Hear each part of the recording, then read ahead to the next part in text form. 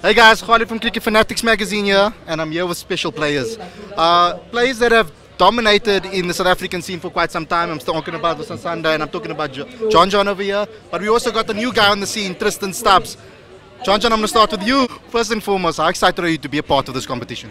Oh, look, it's massive. I think um, any any kind of competition like this around the world you want to be part of, and we're obviously very fortunate that it's come to South Africa. So can't wait for, for January to come, and really looking forward to it.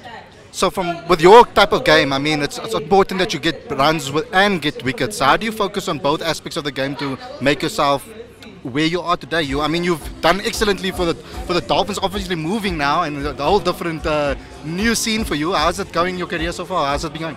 Yeah, look, I think um, I would have liked a few more runs in this last CSA T20 tournament, but um, that's the way T20 cricket works.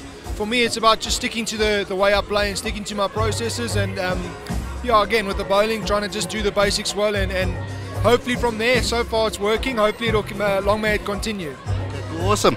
Tristan, I'm here with you now. Uh, we didn't even have an opportunity to talk since you got picked up. Uh, massive price tag. Uh, so, how were you first feeling about the price tag? Did you even think about it at all? I mean, I'm, I'm very fortunate for that to happen. So, um, yeah, I'm very, very thankful. You had a, an, uh, an opportunity to play at the World Cup. What sort of lessons have you picked, taken away from the World Cup? Yeah, I've taken a few lessons um, just about cricket in general. So, um, looking to bring them into my game going forward. Um, what sort of lessons have you picked up, would you say?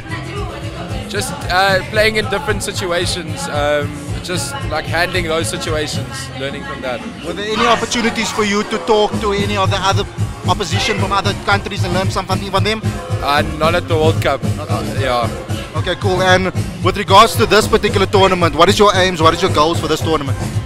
Obviously, we want to win the tournament, uh, but then just enjoy it. We're gonna hopefully be playing in front of a full St George's crowd, so just enjoy those those games. Awesome. So Sanda, uh, you can maybe swap with Tristan. so Sanda, long time no talk. The last time we spoke it was with the Blitz.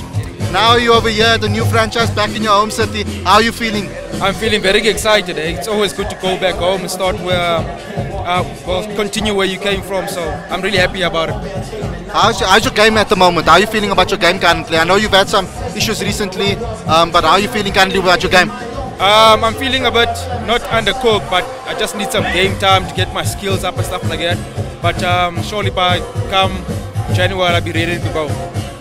When you, you heard about the SA20, was this like the, one of the franchises you wanted to get picked up by? Uh, to be honest with you, I wanted you to, to actually be involved in the tournament. So whichever way or whichever team bid it for me, I was happy to. I just wanted to be a part of the team. Okay, cool. Awesome. Thank you a lot, Sisanda. Thanks, guys. Thank you, guys. See you, Tristan.